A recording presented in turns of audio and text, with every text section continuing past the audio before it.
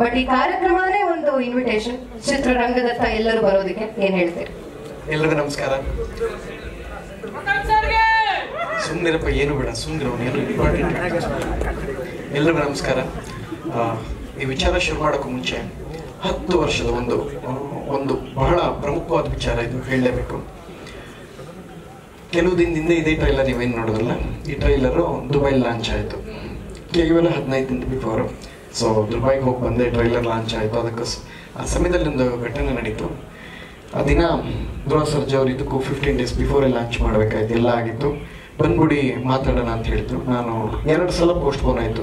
ಯಾಕೆಂದ್ರೆ ಅದಾದಮೇಲೆ ಅಪ್ಪು ಸರ್ದು ಪುನೀತೋತ್ಸವ ಇದ್ದಾಗ ಕಾರ್ಯಕ್ರಮಕ್ಕೆ ಹೋಗ್ತಾ ಇದ್ದೀನಿ. ಈ ದಿನ ಬರೋದು ಬೇಡ ಬರೋ ಬಂದರೆ ಸುಮ್ಮನೆ ಅಲ್ಲಿ ನಾನು ಅವ್ರ ಮನೆಗೆ ಹೋಗಿ ಇನ್ವಿಟೇಷನ್ ಇಸ್ಕೊಳಕ್ಕೆ ಹೋಗ್ತಾ ಇನ್ನೊಂದು ದಿನ ಸಿಗೋಣ. ಅದಾದಮೇಲೆ ನಾನೇ ಬರ್ತೀನಿ ಸಿಗೋಣ ಅಂತ ಹೇಳಿದ್ಮೇಲೆ ಒಂದಿನ ನಮ್ಮ ಹಿರಿಯ ಗೃಹ ಸರ್ ಬಂದರು. ಬಂದಾಗ ಮಾತಾಡ್ತಾ ಇದ್ದಾಗ ಒಂದು ಘಟನೆ ನಡೀತು. ಎಂಟು ಗಂಟೆಗೆ ಸಿಗ್ತೀನಿ, ಸಂಜೆ ಸಿಗ್ತೀನಿ ಅಂತ ಹೇಳಿದ್. ನಾನು ಎಂಟು ಗಂಟೆಗೆ ದುಬೈಗೆ ಹೋಗ್ತಾ ಇದ್ದೀನಿ. ಟ್ರೈಲರ್ ಲಾಂಚ್ ಕರೆದಿದೆ ಸರ್ ಫಸ್ಟ್ ಟೈಮ್ ದುಬೈಲಿ ಆಗ್ತಾ ಇದೆ. ಆಮೇಲೆ ಎರಡು ಗಂಟೆಗೆ ಬರ್ತೀನಿ. ಸೊ ಧ್ರುವ ಅವ್ರು ಎರಡು ಗಂಟೆಗೆ ಬಂದರು. ಬಂದಾಗ ಹೀಗೆ ಮಾತಾಡ್ತಾ ಇದ್ದಾಗ ಹಿಂಗೆ ಹಿಂಗೆ ಆಗಿದೆ. ನಾಳೆ ಟ್ರೈಲರ್ ಲಾಂಚ್ ಮಾಡಬೇಕು ಎಲ್ಲ ಆರಾಮಲ್ಲಿ ಹೋಗ್ರು ಎಲ್ಲ ಚೆನ್ನಾಗಿ ನಡೀತಾ ಇದ್ದಾರೆ ನನಗೆ ಹೇಳಿದೆ ಹಾಂ ಆರಾಮ್ ಎಲ್ಲ ಆಗ್ತಾ ಇದೆ. ಅಂದರೆ ಎಲ್ಲ ಚೆನ್ನಾಗಿದೆ ತಾನೆ ದುಬೈಲೆಲ್ಲ? ಎಲ್ಲ ಶಾಪಿಂಗ್ ಎಲ್ಲ ಮಾಡ್ತಾ ಇದ್ದಾರೆ ತಾನೆ? ಇಲ್ಲ, ನಾನೇನು ಮಾಡ್ತಾ ಎಲ್ಲ ರೆಡಿ ಇದೆ ತನ್ನ ಅಮೌಂಟ್ ಎಲ್ಲ ಎಲ್ಲ ರಿಲೀಸ್ ಮಾಡಬೇಕಿಲ್ಲ. ಅಲ್ಲ, ಇದೆ, ಈಗ ಮಾಡಲ್ಲ. ಸೊ ಎಷ್ಟಿದೆ ಬ್ರೋ ನಿಮ್ಮ ಹತ್ರ ಹೋಗೋದಕ್ಕೆಲ್ಲ ರೆಡಿ ಇದೆ ತಾನೆ ಶಾಪಿಂಗ್ ಎಲ್ಲ ಮಾಡ್ಕೊಂಡು ಆರಾಮಾಗಿ ಬನ್ನಿ. ಅಂದರೆ ಎರಡು ಸಾವಿರದ ಇನ್ನೂರು ರೂಪಾಯಿ ಇದೆ ಈಗ ಜೇಬಲ್ಲಿ. ಎರಡು ಸಾವಿರದ ಇನ್ನೂರು ರೂಪಾಯಿ ತೊಗೊಂಡು ದುಬೈಗೆ ಹೋಗ್ತೀನಿ ನನ್ನ ಮೇಲೆ ಆಣೆ ಮಾಡಿ. ನಾಣೆ ಎಲ್ಲ ಮಾಡೋಕ್ಕಾಗಲ್ಲ ಬಹಳಷ್ಟು ನಿಮ್ಗೆ ಪ್ರೀತಿಸ್ತಾರೆ. ಹೇಳೋ ಮಾತೇ ಪ್ರಾಮಿಸ್ ನೀವು ಹೇಳಿದ್ರೆ ಅಂದ್ಬಿಟ್ಟು ನಾನು ನಿಮ್ಮಲ್ಲಿ ಆಣೆ ಎಲ್ಲ ಮಾಡೋಕ್ಕಾಗಲ್ಲ? ಅಂತ ಎರಡು ಸಾವಿರದ ಇನ್ನೂರು ಇದೆ. ಈಗ ಇಲ್ಲಿಂದ ಹೋಗೋದಕ್ಕೆ ಅಲ್ಲಿ ಊಟ ತಿಂಡಿ ವ್ಯವಸ್ಥೆ ಎಲ್ಲ ಅಲ್ಲೇ ಮಾಡಿದ್ದಾರೆ. ಇದಕ್ಕಿಂತ ಇನ್ವೆಸ್ಟ್ ಮಾಡಿದ್ಮೇಲೆ ಆಪ್ತರು ಒಂದಷ್ಟು ಅಲ್ಲಿ ಫೈನಾನ್ಷಿಯಲಿ ಪ್ರಾಬ್ಲಮ್ ಆದಾಗ ನಾನಷ್ಟು ಒಂದಷ್ಟು ಸ್ಟ್ರೆಸ್ ತೊಗೊಂಡಿದ್ದೀನಿ. ಮತ್ತೆ ನಾನು ತಗೊಳ್ಳೋ ಹಂತದಲ್ಲಿಲ್ಲ. ಇಲ್ಲ ಅಂತ ಹೇಳಿದಾಗ, ಸರಿ, ಆಯ್ತು ನೀವು ನಡ್ರಿ, ಮಾತಾಡ್ತೀನಿ. ಅದಕ್ಕೆ ಸ್ವಲ್ಪ ಹೊತ್ತಿಗೆ ಬಹಳ ಹೇಳುವಂಗಿಲ್ಲ ಬಹಳ ದೊಡ್ಡ ಅಮೌಂಟ್ ಧ್ರುವ ಮನೆಗೆ ಕ್ಯಾಶ್ ಕಳಿಸ್ಕೊಟ್ರು. ನಾನು ಹೆಂಗೆ ಈಸ್ಕೊಳ್ಳೋದಪ್ಪ ಬೇಡವ, ಏನು ಕೊಡ್ತಾರೋ, ಹೆಂಗೆ ಈಸ್ಕೊಡೋದು ಸ್ವಲ್ಪ ದೂರ ಕಾರಲ್ಲಿ ಹೋಗ್ಬೇಕಾದ್ರೆ ಒಂದು ಫೋನ್ ಬರುತ್ತೆ ಧ್ರುವ ಅವ್ರು ಹೇಳ್ತಾರೆ. ನಾನು ನಿಮ್ಗೆ ಯಾಕೆ ಕೊಟ್ಟೆ ಅಂದರೆ ನೆನ್ಪಿಟ್ಕೊಳ್ಳಿ ಬ್ರೋ ಹತ್ತು ವರ್ಷದಿಂದ ನನ್ನ ಫಸ್ಟ್ ಸಿಮ್ ಅದ್ದೂರಿ. ಒನ್ ಸೆವೆಂಟಿ ಫೈವ್ ಡೇಸ್ ಆಯಿತು. ಒನ್ ಸೆವೆಂಟಿ ಫೈವ್ ಡೇಸ್ ಆದಾಗ ಇದೇ ಅವಾರ್ಡ್ ನನಗೆ ಅಬುದಾಬಿಲಿ ಗಲ್ಫ್ ಕಂಟ್ರಿಲಿ ಬೆಸ್ಟ್ ಆಕ್ಟರ್ ಅವಾರ್ಡ್ ಸಿಕ್ತು ಎಲ್ಲ ಇಲ್ಲಿಂದ ಹೋಗಿದ್ದೀವಿ. ಸೊ ಇವತ್ತು ಏನು ಪೊಸಿಷನ್ ನೀವಿದ್ದೀರಾ, ಅದೇ ಪೊಸಿಷನ್ ನಾನಿದ್ದೆ. ಎಲ್ಲ ಆಯಿತು, ಬಹಳಷ್ಟು ಜನ ಕಲಾವಿದರೆಲ್ಲ ಆಯಿತು. ಪ್ರೋಗ್ರಾಮ್ ಎಲ್ಲ ಮುಗಿದ್ಮೇಲೆ ಶಾಪಿಂಗ್ ಮಾಡೋಣ. ಎಲ್ಲ ಶಾಪಿಂಗ್ ಅಂತ ಹೋಗಿದ್ರು ಒಂದು ಶೂ ಕೂಡ ನಾನು ತೊಗೊಳಕ್ಕಾಗಲ್ಲ ಕಂಪ್ಲೀಟ್ ನೋಡೋದು ಎಂಟೈರ್ ದುಬೈ ಸುತ್ಕೊಡೋದು ವಾಪಸ್ ಹಾಗೆ ಬರೋದು. ಮೂರು ದಿನಗಳ ಕಾಲ ಇದೇ ಆಯ್ತು. ನನಗೆ ಆಗಿದ್ದ ಘಟನೆ ಯಾರು ಆಗ್ಬಾರ್ದು ನನ್ನ ಸ್ನೇಹಿತರಿಂದ ಡಿಸೈಡ್ ಮಾಡಿದೆ. ಎಷ್ಟೋ ಜನ ಅನ್ಕೊಳ್ತಾರೆ, ಅರ್ಜುನ್ ಸರ್ಜಾ ಅವ್ರ ಕುಟುಂಬದಲ್ಲಿ ದುಡ್ಡಿಲ್ವಾ? ಅರ್ಜುನ್ ಸರ್ಜಾ ಅವ್ರ ಮನೇಲಿ ಅವರು ಸ್ವಂತ ಮಾವ ದುಡ್ಡಿಲ್ವಾ? ಶಕ್ತಿ ಪ್ರಸಾದ್ ಅವ್ರ ಕುಟುಂಬದಲ್ಲಿ ದುಡ್ಡಿಲ್ವಾ? ವಿಷಯ ಅದಲ್ಲ. ನಾನು ಯಾವಾಗ ಹೀರೋ ಆಗಕ್ಕೆ ಶುರು ಮಾಡಿದೆ, ಯಾವಾಗ ಒಂದು ಸಿನಿಮಾ ಆಯ್ತು? ದಟ್ ಡೇ ಐ ಡಿಸೈಡೆಡ್ ನಾನು ಏನು ತಗೋಬಾರ್ದು ಅಂತ. ಒಂದು ಸಿನಿಮಾ ಸೂಪರ್ ಹಿಟ್ ಆದ್ಮೇಲೂ ಸಹಿತ ನೆಕ್ಸ್ಟ್ ಅನ್ಕೊಂಡೆ. ಹಿಟ್ ಮಾಡೋದ್ರ ಜೊತೆಗೆ ನಾನು ನನ್ನ ಕೈಲಿ ಅವತ್ತು ಏನು ತಗೊಳಕ್ಕಾಗಿಲ್ಲ. ನನ್ನ ಜೊತೆಲಿದ್ದವ್ರು ಯಾರು ಕಷ್ಟಪಡಬಾರ್ದು. ಆ ಡೇ ಡಿಸೈಡ್ ಮಾಡಿದೆ. ನನ್ನ ಜೊತೆಲಿದ್ದವ್ರು ಎಲ್ಲರಿಗೂ ನಿಂತ್ಕೋಬೇಕು ಅಂತ ಅನ್ಕೊಂಡಿದ್ದೀನಿ ಸೊ ಅದಕ್ಕೆ ನನ್ನ ಕೈಲಾಗಿದ್ದೀನಿ ಕಳಿಸ್ಕೊಂಡಿದ್ದೀನಿ ಬ್ರೋ ನೀವೇನಾಗುತ್ತೆ. ಅವತ್ತು ಶುರುವಾಗಿದ್ದೇನೆ ಕೇವಲ ಹದಿನೈದು ದಿನದಿಂದ ಎರಡು ಸಾವಿರದ ಇನ್ನೂರು ಇತ್ತು. ಒಂದು ಸಿನಿಮಾ ಮುಗಿಸಿ ಗ್ರಾಫಿಕ್ ಎಲ್ಲ ಹಂತದಲ್ಲೂ complete cinema voice over Dhruva Sarja sir ಕೊಟ್ಟಿದ್ದಾರೆ. ಯಾಕೆ ಹೇಳಿದೆ ಅಂದರೆ, ಬಹಳಷ್ಟು ಜನ ಹೇಳ್ತಾರೆ, ನಾನು ಜೊತೆ ಇರ್ತೀನಿ ನಾನು ನಿಮ್ಮ ಜೊತೆ ಇರ್ತೀನಿ. ಸೊ ಹೇಳಿಲ್ಲ ಅವರು ಹೇಳಿದಕ್ಕೆ ತಕ್ಕಂತೆ ನಿಂತಿದ್ದಾರೆ. ಅದರೆಲ್ಲದರ ರೂಪ ಇವತ್ತು ನಟ ಭಯಂಕರ ರೆಡಿಯಾಗಿ ನಿಂತಿದೆ. ಬಹಳಷ್ಟು ರಿಲೀಸ್ ಹಂತದಲ್ಲಿ ಧ್ರುವ ಅವ್ರಿಗೆ ಯಾರ ಜೊತೆ ಕಮ್ಯುನಿಕೇಶನ್ ಇಲ್ವೋ, ಬಹುಶಃ ಅವ್ರ ಸಿನಿಮಾ ಬಿಸ್ನೆಸ್ ಆಗುವಂಥದ್ದು ರೀಚ್ ಆಗುವಂಥದ್ದು ಇನ್ಯಾರ್ದು ಇಲ್ಲ. ನಾಲ್ಕನೇ ಸಿನಿಮಾಗೆ ಐವತ್ತು ಕೋಟಿ ಬಿಸ್ನೆಸ್ ಮಾಡಿ, ಐದನೇ ಸಿನಿಮಾಗೆ ನೂರು ಕೋಟಿ ಸಿನಿಮಾ ಹಾಕುವಂಥ ಒಬ್ಬ ನಟ ಯಾರ ಜೊತೆನೂ ಕಮ್ಯುನಿಕೇಶನ್ ಇಟ್ಕೊಂಡಿಲ್ಲ. ಯಾರೊಬ್ಬರು ಫೋನ್ ನಂಬರ್ ಆಗಲಿ, ಈ ಸಿನಿಮಾಗೆ ಒಳ್ಳೇದಾಗಲಿ ಅನ್ನೋ ಕಾರಣಕ್ಕೆ ಮುಂಬೈ ಸಹಿತ ಎಲ್ಲರಿಗೂ ಮಾತಾಡಿ ಪ್ರತಿಯೊಬ್ಬರ ಜೊತೆ ಕಮ್ಯುನಿಕೇಶನ್ ಒಂದು ವೇದಿಕೆ ಮಾಡಿಕೊಟ್ಟವರು ಧ್ರುವ ಸರ್ಜಾ ಅವರು ನಾನು ಬದುಕಿರೋ ತನಕ ನಾನು ಋಣಿಯಾಗಿರ್ತೀನಿ ಅವ್ರಿಗೆ. ಈ ಮಕ್ಕಳು ಟ್ರೈಲರ್ ವಾಯ್ಸ್ ಓವರ್ ಕೊಟ್ಟಾಗಲೂ ಒಂದು ಘಟನೆ ನಡೀತು. ಧ್ರುವ ಅವ್ರ ವಾಯ್ಸ್ ಓವರ್ ಕೊಡ್ಬೇಕಾದ್ರೆ ಉಪ್ಪಿ ಸರ್ ಸಾಂಗ್ ಆಡಿದ್ಮೇಲೆ ಧ್ರುವ ಅವ್ರ ವಾಯ್ಸ್ ಓವರ್ ಕೊಡ್ತಾರೆ ಅಂದಾಗ ಉದಯ್ ಮೆಹ್ತಾ ಅವ್ರು ಒಂದು ಮಾತು ಹೇಳಿದ್ರು ಅವ್ರ ಸಿನಿಮಾ ನಿರ್ಮಾಪಕರು. ಪ್ರಥಮ ಅವ್ರು ಕೊಡ್ತಾರೆ, ಕೊಡಲ್ಲ ಅಂತ ಹೇಳ್ತಿಲ್ಲ ಅವ್ರು ಕರ್ಸದೇ ಇರೋದು. ಯಾವಾಗ ಬರ್ತಾರೆ ಕರೆಕ್ಟಾಗಿ ಡೇಟ್ನ ಕ್ಲೀನಾಗಿ ಕನ್ವಿನ್ಸ್ ಮಾಡಿ ಸಬ್ಜೆಕ್ಟ್ ಎಲ್ಲ ಮೊದಲೇ ಕೊಟ್ಬಿಟ್ಟು ರೆಡಿ ಮಾಡ್ಕೊಳ್ಳಿ. ಏನ್ ಕೊಡ್ಬೇಕಾಗತ್ತೆ ಧ್ರುವ ಸರ್ಗೆ?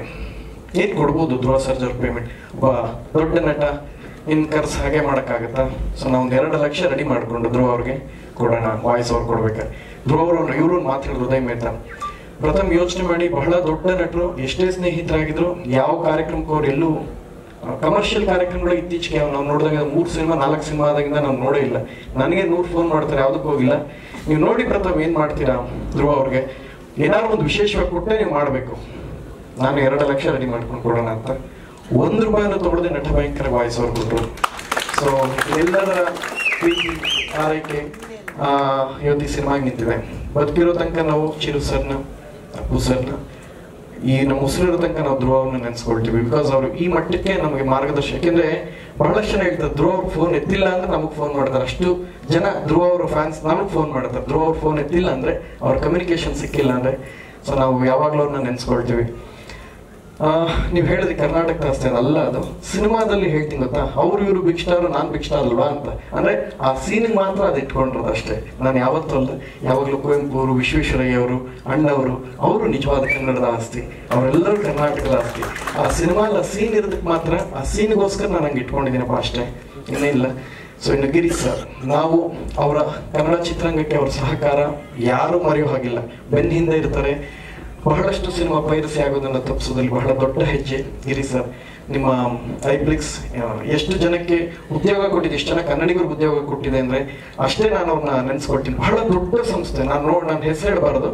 ಬಾಲಿವುಡ್ನ ದೊಡ್ಡ ನಟ ಅವ್ರಿಗೆ ಫೋನ್ ಮಾಡ್ತಾರೆ ನಾನು ಸಿನಿಮಾ ಪೈರಸಿ ಆಗಿದೆ, ಅವ್ರ ಮ್ಯಾನೇಜರ್ ಫೋನ್ ಮಾಡಿ. ಸ್ವಲ್ಪ ಅದೇ ನಾವು ನೋಡಿ, ಅಷ್ಟು ಹೆಸರು ಮಾಡಿರುವಂತ ಕನ್ನಡಕ್ಕೆ ಏನೋ ಮಾಡ್ಬೇಕು ಅಂತಿರೋರು. ಈ ಸಿನಿಮಾಗೆ ನನಗೆ ಆಗಿದೆ ಸರ್. ಸ್ವಲ್ಪ ಫೈನಾನ್ಷಿಯಲ್ ಇಂಚೂರು ಜಾಸ್ತಿ ಆಯ್ತು ಬಜೆಟ್ ನಾನೇ ಒಂಚೂರು ತಗೊಂಡಿದ್ದೀನಿ ಅಂದಾಗ. ನಿಂತು ಪ್ರತಿ ಹಂತದಲ್ಲಿ ಮಾಡಿಕೊಟ್ಟವ್ರು. ಸೊ ನಾನು ಕೂಡ ನಾನು ಋಣಿಯಾಗಿರ್ತೀನಿ ಸರ್. ಯಾವತ್ತೂ ನಾನು ನಿಮಗೆ, ನಿಮ್ಮ ಕಂಪ್ನಿಗೆ, ನಿಮ್ಮ ಎಂಪ್ಲಾಯೀಸ್ಗೆ ನಿಮ್ಮ ಸ್ಟಾಫ್ ಅವಿನಾಶ್, ಎಲ್ಲ ನನ್ನ ಸ್ನೇಹಿತರು ಎಲ್ಲರಿಗೂ ನಾನು ಋಣಿಯಾಗಿರ್ತೀನಿ. ವೇನು ಸರ್ ನಿಮ್ಮ ಬಗ್ಗೆ ನಾನು ಎರಡು ಮಾತು ಹೇಳಕ್ಕೆ ಇಷ್ಟಪಡ್ತೀನಿ. ನನಗೆ ಜಾತಕದಲ್ಲಿ ಎಂಬತ್ತೊಂಬತ್ತು ವರ್ಷ ಆಯ್ಸಿರೋದು ಎರಡು ವರ್ಷ ನಿಮಗೆ ಎದ್ದಿಟ್ಟಿದ್ದೀನಿ ಸರ್. ಈ ಸಿನಿಮಾಗೆ ಪ್ರತಿದಿನ ಚರ್ಚೆ, ಜಗಳ, ಚರ್ಚೆ ಆಗುತ್ತೆ, ಜಗಳ ಆಗುತ್ತೆ. ವಾಪಸ್ ಜಗಳ ಆಗುತ್ತೆ ನಿಮಗೆ ನಾನು ಕೊಟ್ಟಿರೋಷ್ಟು ಕಾಟ ಯಾರು ಕೊಟ್ಟಿಲ್ಲ. ಗೊತ್ತು? ಆದರೂ ನೀವು ಸಹಿಸ್ಕೊಂಡಿದ್ದೀರಾ? ನಿಮಗೂ ಈ ವರ್ಷದ ನೊಬೆಲ್ ಪ್ರಶಸ್ತಿಗೆ ರೆಕಮೆಂಡ್ ಮಾಡಲೇಬೇಕು. ನನ್ನ ಸಹಿಸ್ಕೊಂಡಿರೋದಕ್ಕೆ ನಿಮಗೆ ಕೊಡಲೇಬೇಕು. ನಾನು ಹೇಳ್ತೀನಿ. ಆ್ಯಂಡ್ ತುಂಬ ದೊಡ್ಡ ವ್ಯಕ್ತಿ. ನಮ್ಮ ಸಿನಿಮಾ ನಾಲ್ಕು ಕಾರ್ಯಕ್ರಮಕ್ಕೆ ನಿನ್ನೆ ಕೂಡ ನಿನ್ನೆ ಮೊನ್ನೆ ಸರ್ ಜಗಳ ಆಗಿದೆ ನನಗೂ ನಿನ್ನೆನ? ಆಗ್ತಾನೆ ಇರುತ್ತೆ ಸರ್. ನಿಮ್ಗೆ ಆಗ್, ನಿಮ್ದೊಂಥರ ನಿಮ್ಗೆ ಆಗದೆ ಇರೋದೇ ಇಲ್ಲ. ಆದ್ರೇನೆ ಚೆನ್ನಾಗಿದೆ ಅಂತ ಇರ್ತಾರೆ ಸೊ ಲಹರಿ ವೇಲು ಅಂದ್ರೆ ಎಷ್ಟೋ ಜನ ಅಂದ್ಕೊಳ್ತಾರೆ. ಅದು ರಾಂಗ್ ಅದು. ಲಹರಿ ವೇಲು ಅಂದ್ರೆ ಶಿಸ್ತು. ವೇಲು ಅಂದ್ರೆ ಶಿಸ್ತು. ನಮ್ಮ ಸಿನಿಮಾ ಡೈಲಾಗ್ ಇದೆ ಕ್ಷಮೆ ಕೇಳ್ಬಿಟ್ಟು ಹೇಳ್ತೀನಿ ಸರ್. ಹೀರೋಯಿನ್ ನಮ್ಮ ಹೆಸರು ಲಹರಿ ಅಂದ್ರೆ ನಿಮ್ಮ ಅಪ್ಪ ವೇಲು ನಾ ಅಂತ ಇದ್ದೆ ದಯವಿಟ್ಟು ಕ್ಷಮಿಸ್ಬಿಡಿ ಸರ್. ನಿಮ್ಮ ಪರ್ಮಿಷನ್ ಆಮೇಲೆ ಅದಕ್ಕೂ ಕೇಸ್ ಹಾಕ್ಬಿಟ್ಟು ನನಗೇನು ಮಾಡಬೇಡಿ? ಬರುವ ತುಂಬಾ ಸಾಲದಲ್ಲಿದ್ದೀನಿ. ನಾನು ಹಾಕೊಂಡ್ರೆ ನಮ್ಮ ನಮ್ಮ ದೇವರಾಣೆಗೂ ಒಂದು ರೂಪಾಯಿನೂ ಸಿಗಲ್ಲ ಸರ್ ತುಂಬಾ ಕಷ್ಟದಲ್ಲಿ ಕ್ಷಮೆ ಕೇಳಿ